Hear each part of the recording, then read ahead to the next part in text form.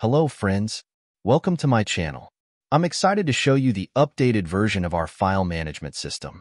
We've made several improvements, including better security features, enhanced authentication, a fresh UI design with a new dark mode, and additional features to make the system more user-friendly and convenient. If you haven't seen the previous version of our file management system, you can watch it by following the link in the description. So let's continue and take a look at our newly updated version. Here is the authentication section. We've added a new restriction for users during login. They can only try entering the wrong password five times. After five incorrect attempts, the account will be blocked for the next five minutes. This feature helps protect against brute force attacks. Let's try to log in with the wrong password.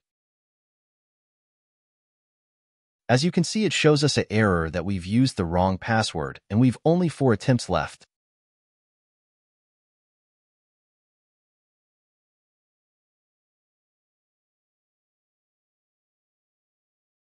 We've tried two times with wrong password, and now we've three attempts left. Let's continue with the correct password and log in in the system. This is the dashboard of our system. At the top, it displays a welcome message with the user's name. Below that, it shows the last time the user logged into their account. Next, we have a search bar where you can look for any uploaded file or folder you've created in your account. You can search by the name of the file, the type of file, or the name of the folder. After that, there are three sections named Documents, Images, and Videos. These sections show how much storage space you've used in your account and how it's divided among different types of files like documents, images, and videos. Next, there's a section that displays all the folders, shared folders you've created, and the most recent files you've uploaded. Let's first take a quick view of the system. This section allows you to create a new folder. First, enter the folder name. If you want to create a secure folder with a password, enter your desired password. Otherwise, leave it blank to create an unsecured folder.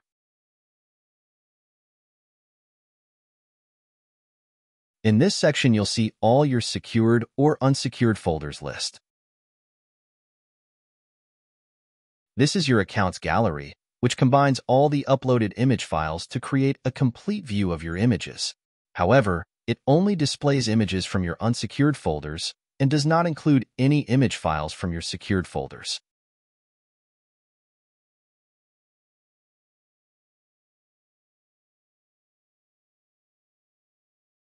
This is the Friends section where you can send and receive friend requests, as well as view your friends list.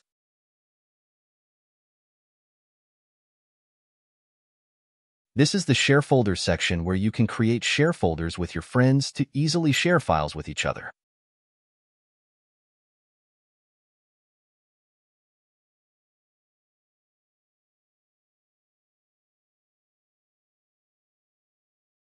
This is the section to update your account password. In this section, you can view your login history, showing when you last accessed your account. This is the Account Activity section where you can track every action performed in your account.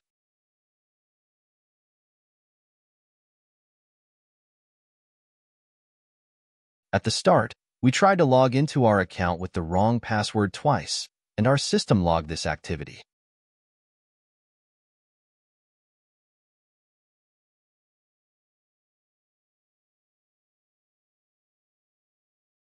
Let's create a new folder named Folder1 and leave the password field blank to make it unsecured.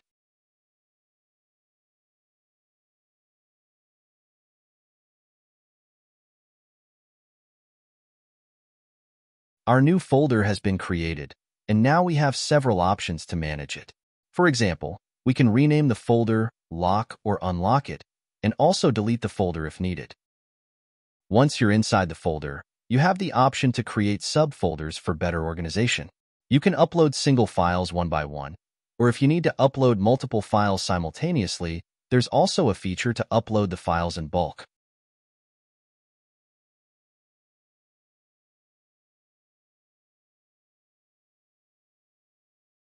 Let's create a subfolder in Folder 1.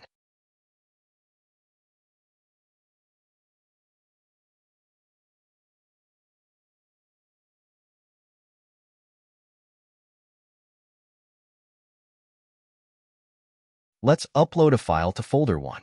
Using the upload file function, you can upload one file at a time. You'll also need to enter details such as the file name and file description during the upload process.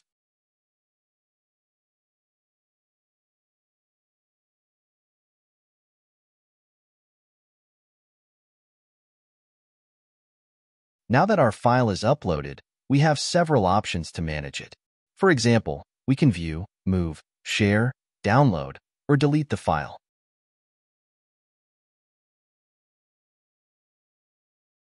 When we click on the Move button, a modal will open displaying a list of our folders. From there, we can select the folder where we want to move our file. Let's select our subfolder named subfolder 1 that we've created and move our file from folder 1 into this subfolder. As you can see, your file has been moved from folder 1 to subfolder. Let's again move the file from subfolder to folder 1. Let's try out our bulk upload feature, where we can upload multiple files at once using the drag and drop feature.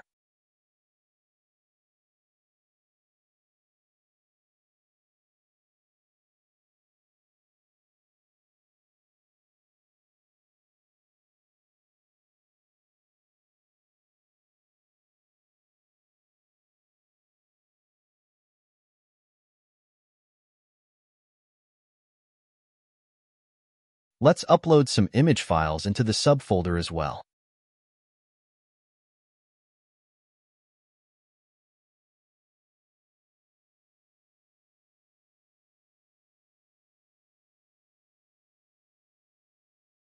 The files have been successfully uploaded.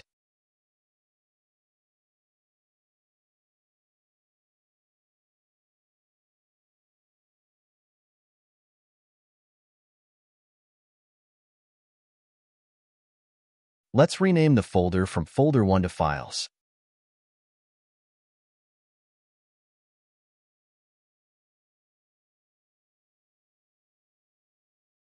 We can also secure our folder with a password.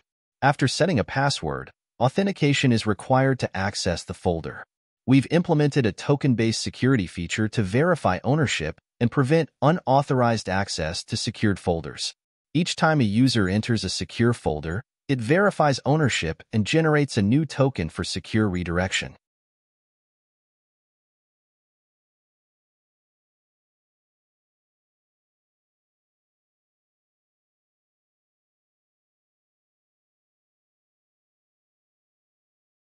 If you check the URL, you'll notice that we've generated a hash token to prevent theft.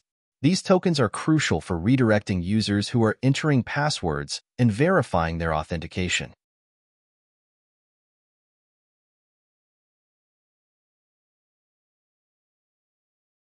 I have already uploaded some image files in the Images folder, and when we go in the Account gallery, it will show my image in the gallery, but only from the unlocked folder.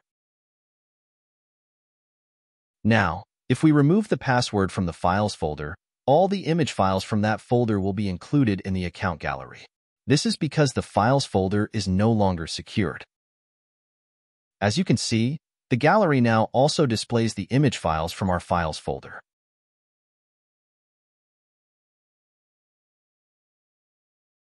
Let's delve deeper into the Share folder features and explore how we can share and manage files within them. As you can see in the Family Share folder, currently we've not shared any files. Let's share a file first. Clicking on the Share button opens a modal and select the Share folder where you want to share the file. I've shared the file successfully in the Family Share folder.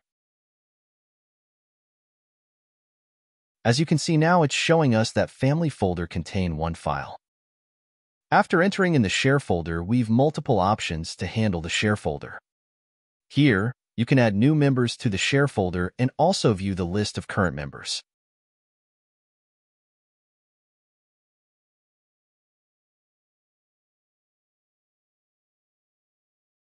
In the share folder settings, we have multiple options to customize the privacy settings of the share folder. For demonstration purposes, let's change the privacy settings to allow only admins to share files in the share folder. This means that only the admin of the share folder can share files, while other members can only view the files.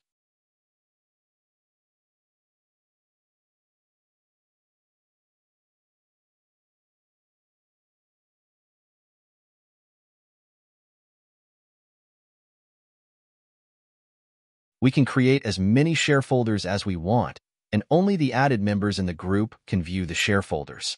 Other members of the system cannot see these share folders.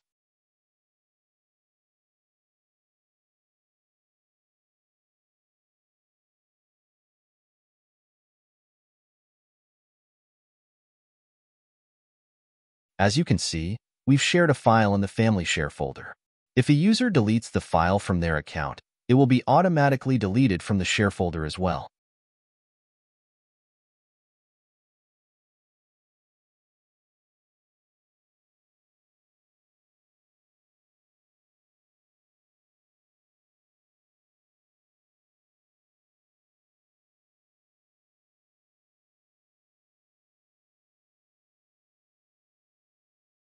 As you can see, the file has been removed from the share folder as well.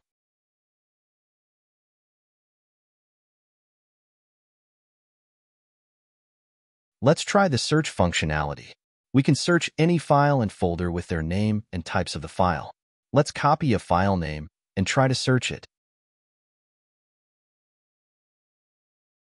As you can see, it's displaying the file with the same name that we copied. Let's try with the folder name. We can use this search functionality when we've multiple of folders and files.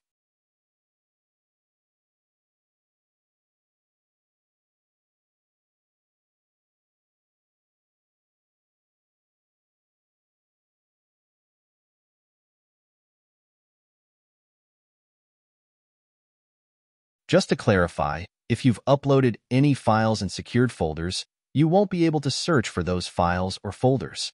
To search for files or folders within secured folders, you'll need to unlock the folder first. As you can see, we've created a subfolder within the secured folder. If we attempt to search for this folder by its name, it won't yield any results because the search functionality excludes secured folders and their contents.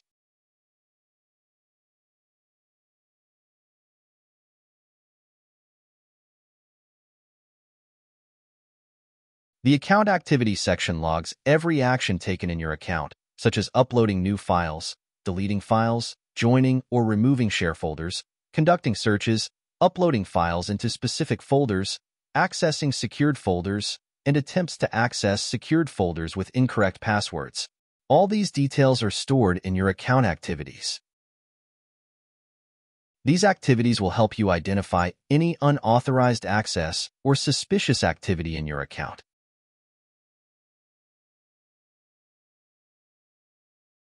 Whenever a user deletes a folder, the system first verifies ownership and checks if the folder is secured. If the folder is secured, the user must first remove the password from the folder before deleting it. This precaution ensures that only authorized actions are taken, protecting secured data from accidental or unauthorized deletion.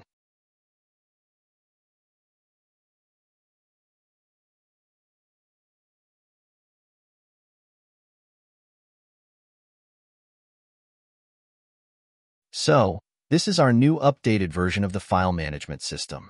We're continuously enhancing this project and adding more features.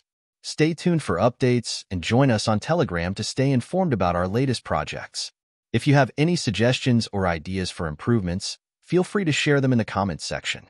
Additionally, for access to the source code, you can join us on Telegram where we provide further details. We appreciate your support and feedback.